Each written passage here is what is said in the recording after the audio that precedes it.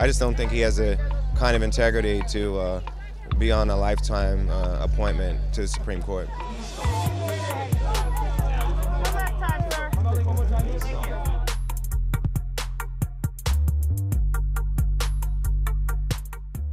Who becomes the next Supreme Court justice is the decision of a lifetime, your lifetime.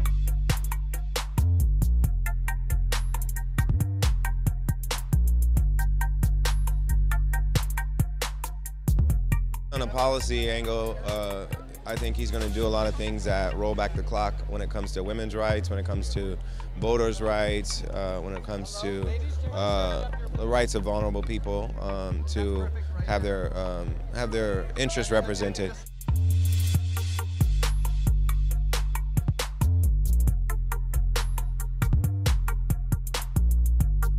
Also worried about his integrity, his personal integrity. Notwithstanding the accusation made against him, he's already lied um, to the Senate uh, at this hearing and in previous hearings, and I just don't think he has the kind of integrity to uh, be on a lifetime uh, appointment to the Supreme Court.